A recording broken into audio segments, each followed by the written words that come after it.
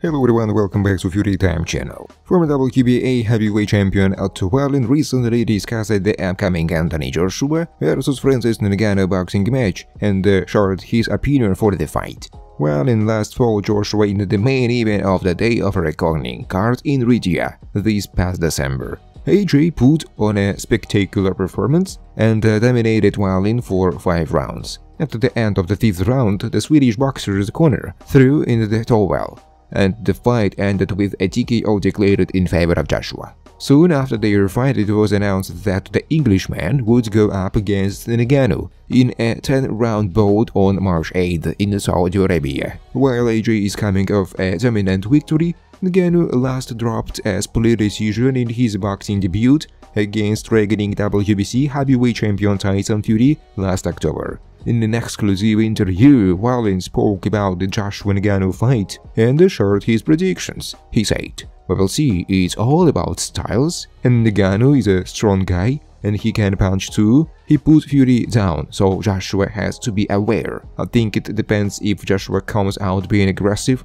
like he was with me, he might knock him out. But Ngannou is a strong guy, so it's not going to be easy. Otto Wallin on the Tyson Fury vs Francis Ngannou boxing match. In the same interview, Otto Wallin shared his thoughts on the Tyson Fury vs Francis Ngannou boxing match that went down last October. Wallin stated that he was surprised by the Cameroonian's boxing skills and praised him for holding his own against one of the greatest heavyweight pugilists of all time. As mentioned above, the two heavyweight juggernauts went up against each other in a boxing ring in October 28th in Riyadh, Saudi Arabia. Given Fury's resume, many predicted a 12th night for the former UFC heavyweight champion. However, Ngannou surprisingly pushed Fury to his limits. The Predator scored the fight's lone knockdown in the third round and dominated the Englishman in the eighth round. After the fight, the Gypsy King appeared to have taken more damage, However, Tyson Fury ultimately won via split decision. Speaking to journalists about Ngannou's impressive showing against Fury,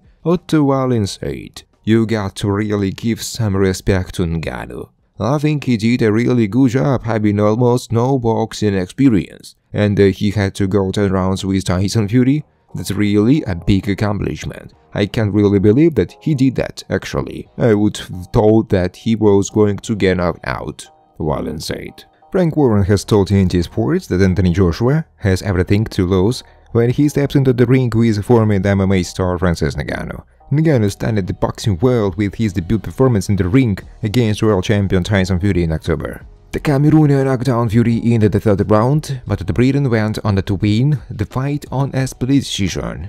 I couldn't believe it, said Eddie Hearn when asked about Ngannou's display against Fury. I was in Mexico and everyone was messaging me, saying are you watching this? He's just dropped him. I got it so wrong. I thought it was a mismatch and that the fight was a farce, and uh, I was so wrong. Tyson might have been a little below par, but Ngannou comes in as a debutant and I know he is a stand-up fighter in MMA. But it's not professional boxing. It was unbelievable. I just did not believe in any sporting arena that any wise in that field could go in and uh, even compete with the top of the top. Imagine any other sport where someone could just go on with a little bit of similar experience, and I thought he was unbelievable. Now we have got tape of Francis Ngannou, only 10 rounds. It must be difficult going in fighting a guy that you've never seen box before, Warren added. Tyson was not at his best that night, he trained hard for it, but he was not at his best. AJ has everything to lose in this fight. He is come off a really good win, looked good, done the business in style and he will be the favorite on the night.